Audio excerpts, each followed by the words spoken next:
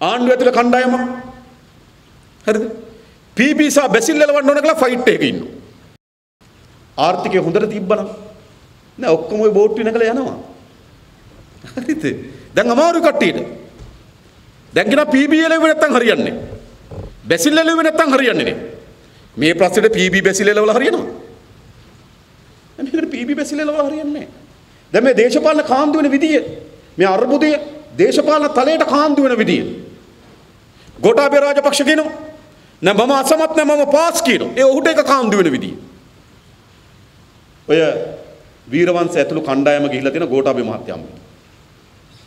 ගිහිල්ලා යෝජනා කරලා තියෙන මොකක්ද දන්නවද? මහින්ද රාජපක්ෂ මහත්තයා පොහොට්ටුවේ නායකයා වෙන්න පොහොට්ටුව පක්ෂත් එකට එකතු වෙලා හදන සන්දාන නායකත්ව ගෝඨාභයට ගන්න කියලා.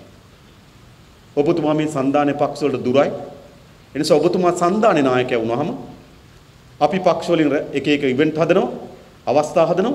ඒ අවස්ථා වලට ඔබතුමා සහභාගී වුණාම අපි පක්ෂ සහ ඔබතුමා අතර සමීපභාවයක් හදනවා. දැන් මේ අර්බුදයට උත්තර ගන්න හදන්නේ කොහොමද? ඒ දේශපාලනේ පෝට්ටුවේ නායකයා මහින්ද කරලා සන්දානේ නායක ගෝඨාභය කරගෙන. අර්බුදයට උත්තරයක් හම්බ වෙනවද?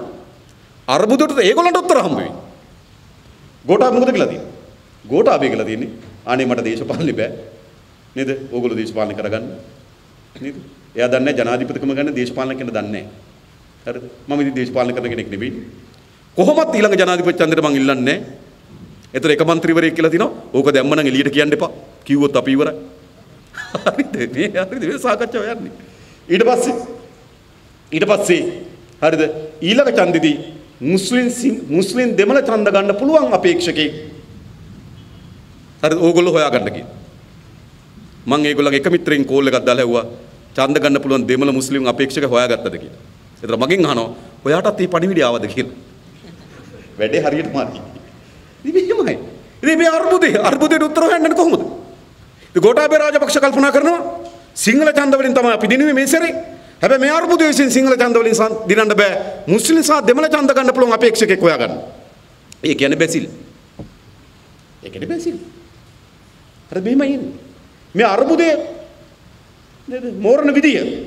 රනිල් වික්‍රමසිංහ නැවත කල්පනා කරමින් තිබෙනවා. ආ දැන් එයාට අවස්ථාවක් ලැබෙමින් තිබෙනවා. එයා නිකන් විවින වෙන යාන්ත්‍රයෙන් නැවත මේකට ප්‍රවිෂ්ඨ වෙන්න පුළුවන්ද කියලා එයා කල්පනා කරනවා. සජිත් ප්‍රේමදාස.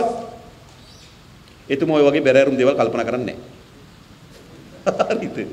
ඔය නිකන් නේද? ඔය මොනවා හරි කෑල්ලක් දාගෙන ඉන්නවා. හරිද? ඒ නිසා මේ අර්බුදය මොකද වෙලා තියෙනවද? දේශපාලන අර්බුදයක් බවට පරිවර්තන වෙලා තිබෙනවා.